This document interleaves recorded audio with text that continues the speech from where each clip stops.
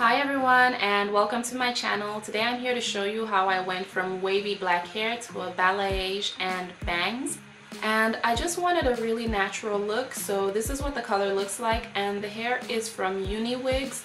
What you get in the box is your hair of course and it's a lace front wig.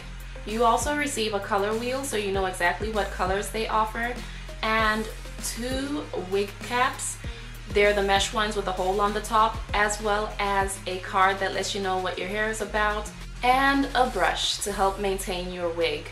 The hair that I received from Uniwigs is a 24 inch lace front in the color 1B with 150% density and bleached knots. It's a natural wave texture and I'm using my Playtex Great Lengths gloves because they reach past my wrist and this is what I always use to do my dye jobs on my hair I'm also using my One 'n Only 20 volume developer as well as the powder lightener. Put three scoops of powder lightener in a mixing bowl and that's all you really need for the wig. You can also rest the mixing bowl on your thigh so that way you don't like tip everything over. I'm using 20 volume developer. You can use 30 or 40 volume if you'd like for more lift, but I just wanted something that was dark brown, not too stark of a hair color difference. And put some in, mix it around a little bit, a little bit at a time. Don't just dump it all in there because you want to get it to a consistency that suits you. I like mine a little bit thick, but not too runny, kind of like a milkshake. So I add until it reaches where I want it to be. And of course, starting from the back, grab a section of hair and also grab a hairbrush. You can use any kind of brush, but this is the one that I chose to use. And starting at the ends, go ahead and brush your hair all the way through. Make sure you saturate the strands. You really want to coat the strands because you want the color to penetrate and you want it to lighten evenly. You don't want any splotches. Once you get up six, eight inches away from the cap, you want to pull your hair tight and then start brushing on either side. Coat the strands. Make sure you brush from the cap all the way down to where the other colored hair is so you don't have any gaps. And then you can brush on either side, down the middle, and then lightly coat the rest of the strands and make sure you have a nice smooth even transition and that's how I did the back so at the front, I just combed out the hair so I could release any tangles or knots because I'm doing smaller sections up here and just part the hair. And what I like to do is I'll lift the hair up and just lightly coat the underside of the section so that way it can have a little bit of color but not too much. Don't go all the way through because you don't want it to be totally lightened. You want some darkness but you don't want it to be like too dark. And after I do that, I go ahead and brush the ends like I did in the back all the way up six to eight inches away from the lace and then grab a comb a fine-toothed comb and brush from the lace going all the way down to where the colored hair is and make sure it all blends evenly because again we don't want any gaps in between so I'll just grab little sections from that original section and put some color in them so we can have some kind of highlights and streaks. One on each side, one in the middle, and then grab the entire large section that's remaining and just lightly brush the top. It looks like it's a lot, but it's not going through and that's what you want to do. So it's still dark, but not as dark. It's not 1B anymore. It's going to be more like a 2 or a 4.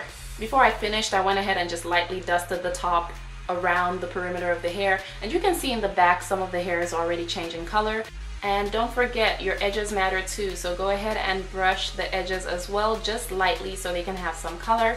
And 20 minutes later I went ahead and washed the hair with Madison Reed shampoo and conditioner and you can see it is colored it's beautiful that's the natural texture after it's been washed. I brushed it out and straightened it with my InStyler Max two-way rotating iron and because the lighting was really bad I didn't really do too much with the hair. I just chose to keep it straight for now. And this is what it looks like so shiny and pretty. And we are going to cut the lace. Just cut it as far back as you can. This is what the cap looks like. Pluck wherever you want your part to be. I just go by the natural way that the hair falls and then put some makeup in there. I'm using my L'Oreal True Match Lumi Foundation in the shade C7 and I had a middle part for a little while but a couple of days later I came back to show you guys what the color looks like in natural sunlight. I'm using my Got2b Glued to secure the unit and just dab some on your hair right before the hairline. My hair is blown out under there in big sections and I'm about to actually do something with my hair so I didn't want to put the Got2b Glued too far up also blow dry it so that way it can be tacky and easier to latch the unit on. And there we go. Just press down and make sure it's secure.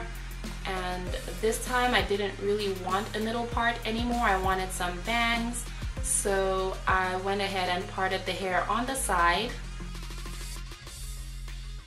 and plucked it again. So now I have two parts and grabbed some more makeup to put in the part so that it would look more natural. And to lay down this part of the lace front wig, I just grabbed some Elasta QP Foaming Wrap Lotion. I love to use this on all of my units. I just don't show you guys as much.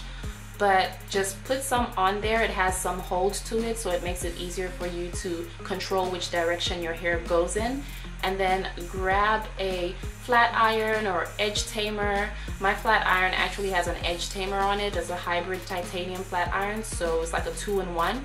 And I just bear down with the flat iron to make sure that everything is sleek and straight. Then I grab my scissors and measure the section of hair around my lip line. It's usually my lip line or my chin line and just cut it for my bangs and then of course grab some more hair and just cut it around my neckline so that way there wouldn't be too stark of a contrast between the bang and the rest of my hair.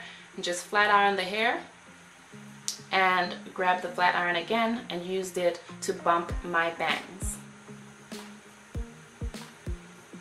And that's all there is to it. That's how I did my bangs and my hair color and I absolutely love it. I forgot how much I liked side bangs.